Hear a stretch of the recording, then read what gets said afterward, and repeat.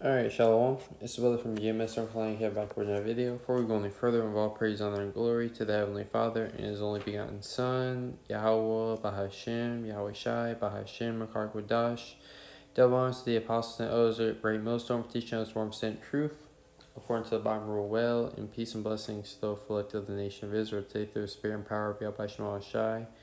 Yahweh Bahashem, Yahweh Shai, we get into the Lord's uh, willing, uh, uh, uh, edifying lesson on how the a day of reckoning is coming. You see, a day where uh, your actions, you know, the things that you've been doing down here on this earth, are going to be a weight in the balance. You see, uh, uh, uh, you see what happened down in Texas. That was just a small glimpse of what Yahweh Shema Shai is going to bring, you know, to this world. You see in that time, you know, uh, they were catching hell. Well, more evils are going to be done upon the earth because we are living in the time of judgment. You see, when Yahweh Shema Shai, so the world only calls God and Jesus Christ will, will bring judgment to this world. You see, to this wicked, sinful kingdom called Babylon the Great. This is um.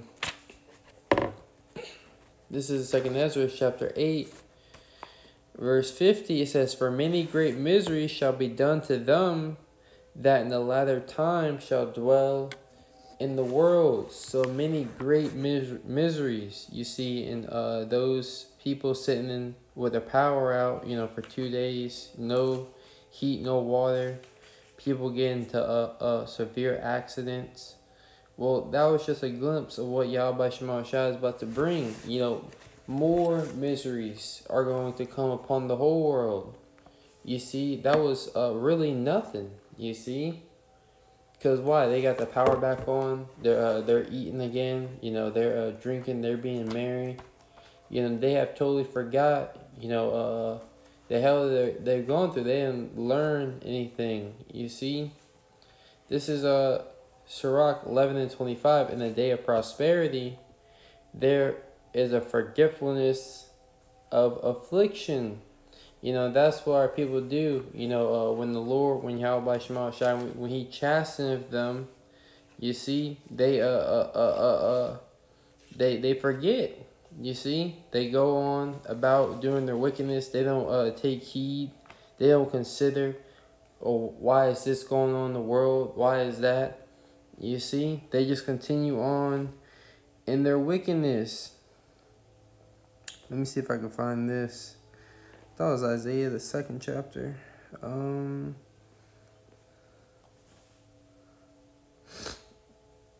just bear with me, brothers. I'm going to read this again. This is a uh, Sirach 11 and 25. In the day of prosperity, there is a forgetfulness of affliction. So when you're doing good, you're uh, prospering. You see, uh, now now they have the power back on you see, they might have, uh, you know, going out, got some fresh air. You know, now they're watching their favorite uh, TV shows on Netflix again. You know, just going back to the folly that Babylon the Great has to offer. Well, it says there's a forgetfulness of affliction. Real quick, this is Sirach. Jeremiah 2 and 30. In vain have I smitten your children, they received no correction. So in Yahweh Shema Shai uh, has smitten you so-called Negroes, Latinos, and Native Americans, you know, by you know by many uh, uh, uh, things upon the earth, and you receive no correction. So what now? The Lord ultimately is going to bring an ultimate the uh, uh, a judgment to where He's just going to put you down. You see. Real quick, this Isaiah one and 5. Why should ye be stricken any more? Ye will revolt more and more. The whole head is sick, and the whole heart faint. So Yahweh Shema Shai, he sees that you so-called Negroes, Latinos, Native Americans, when he puts you through things, you know, when he weighs your actions in the balance and he judges you for your wickedness, well, you're not considering, you know, you're not sitting back, oh, why am I going through this? So the Lord's just going to bring evils upon you. He's just going to destroy you. You see? This is uh, Sirach 11 and 25, and it reads, And in the day of affliction, there is no remembrance of prosperity. You see, and that's what the Lord is about to bring. The Lord is about to bring, uh, and, and is bringing, you know, affliction. You see, where those prosperity moments, those things that you uh, held dear to you, well, those things aren't going to come to mind. You know, the Lord is, He's going to take away your joy and your mirth even more. You see, more evils, many more of miseries are going to come upon Babylon the Great. you know, least you uh, uh, uh, in upon the wicked of those of Babylon. You see, in upon the world. This is uh, Second Ezra chapter eight verse fifty. For many great miseries shall be done to them that in the latter time shall shall dwell in the world. That in the latter time shall dwell in the world because they have walked in great pride. You see, and that's the that's the problem for majority of so-called Negroes, Latinos, and Native Americans, you are walking in great pride. You see, and the pride is the beginning of sin. You know, and uh, he he that has pride will pour out abominations. You see, pride was not made for man. You know, pride is when one departed from his maker. So Yahweh Shema Shai is not dealing with those uh, with pride. You see, so what? He's to bring judgment upon you was it uh, Proverbs 16, 18, pride goeth before destruction, and a haughty spirit before a fall. This is a Galatians chapter 6, verse 7. Be not deceived, the Most High is not mocked. For whatsoever a man soweth, that shall he also reap. So if you're sowing wickedness in the world, you know, evil, sin upon sin, you know, committing iniquity, committing adultery, smoking weed, smoking cigarettes, eating all types of abominable foods, well, you're going to receive the judgment for that. You see? This is um this is Job chapter 34 verse 33. Should it be according to thy mind? Yeah, should be according to your mind whether or not Yahweh Shema Shai uh, judges you, whether or not uh, he brings evil you know, bad times upon this world, you see, it says, Should it be according to thy mind, he will recompense whether thou refuse or whether thou choose, and not I. Therefore, speak what thou knowest. See, Yahweh Shema Shai, you know, he's going to judge you so called Negroes, Latinos, and Native Americans. You see, that's why we tell you to repent, to turn back. Because the day of judgment is coming. You see, a day uh, uh, where you're going to have to pay for your sins. Real quick, Romans 6 and 23. For the wages of sin is death. So you committing iniquity, you know, you know, uh, this is why you're going through these things. This is why Yahweh Shema is bringing judgment upon you because of your pride, before because of your trespass, you know, in His commandments. You see, and that's going to lead to your death. It says, For the wages of sin is death, but the gift of the Most High is eternal life through Yahweh Shai Mashiach our Lord.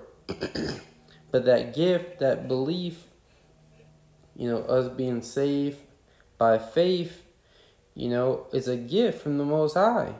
You know, so if you have this knowledge, if you believe, we got to hold on to what we have. You see? and uh, continue to stay diligent and rooted in the fear of the Lord.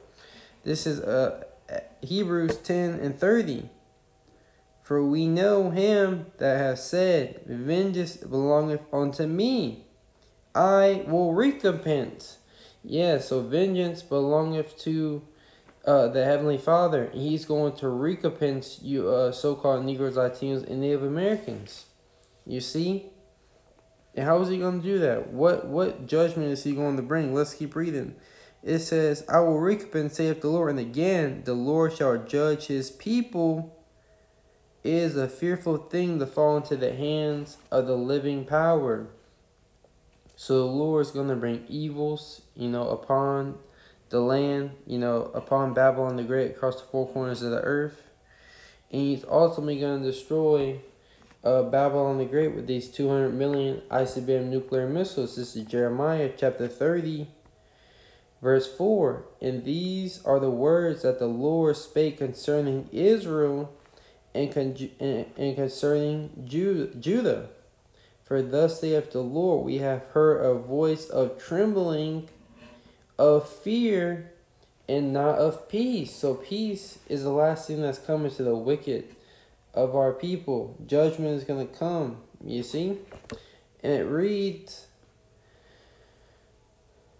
Ask ye now and see whether a man doeth travail with child. Now we know a man does not have a child. You know, that's the job of a woman. Let's keep reading.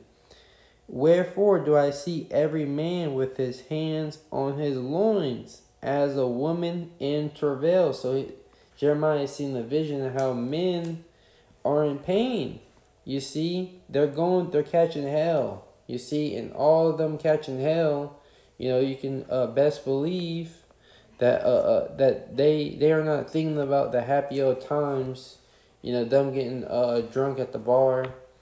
No, those things are gonna be uh totally uh wiped out of their minds. You see, they're gonna be uh engulfed in in the uh, uh in the uh, uh, uh that torment that Yahweh Shema is gonna bring upon them. It says as a woman in travail, and all faces are turned into paleness. At last, for that day is great, so that none is like it. So uh, you had uh, these ice age, you know, the whole ice age with uh not ice age, but you better know with the uh Texas, you know, the uh, the, the you know power going out, no water. Well, there's a day coming that's gonna be worse than that. You see, let's read that again. Jeremiah 30 and 7 At last, for that day is great. What day? So that none is like it, is even the time of Jacob's trouble. And Jacob representation of you so-called Negroes, Latinos, and Native Americans. So there's a time of trouble that's coming upon the whole world. You see, and we are entering into those times, but really things are going to get even worse. We're not really there yet, you see? We're at the beginning stages of it. You see, but there's going to be a time of trouble such as never been seen upon the earth. So that's how bad things are going to get. You know, things are going to get worse. Things are going to continue to get bad. And it reads, At last, for that day is great, so that none is like it. It is even the time of Jacob's trouble. So the Lord is going to bring judgment upon Jacob, his chosen people you know. But out of that uh, chosen people, there is a, a, a, a, children of disobedience. You see, uh, uh, uh you know, uh, uh, the spot is not the spot of my children. Yeah, I forgot the saying goes. Uh, scripture is uh, his spot is not the spot. You know, but you know, Lord's willing. You know, basically, Jake, all Israel is not of Israel. You see, Okay, uh, yep, I'm, I'm actually right here. This is uh, Deuteronomy 30 and 32 and 5. They have corrupted themselves. Their, their spot is not the spot of his children. They are perverse and crooked generation. You see? So Yahweh Shema Shai, look, Jake is not, it, that's not, uh, the, the, the uh, Israel, know, so-called Negroes, Latinos, Native Americans are not acting as the chosen seed of the Lord. So the Lord is going to uh, take them out. This is a Deuteronomy chapter 32, verse 39. See now that I, even I am He, and there is no God with me. I kill and I make alive, I wound and I heal.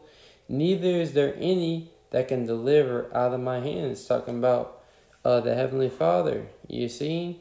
No one's going to be able to deliver you out of the hands of the Lord. For I lift up my hand to heaven and say, I live forever.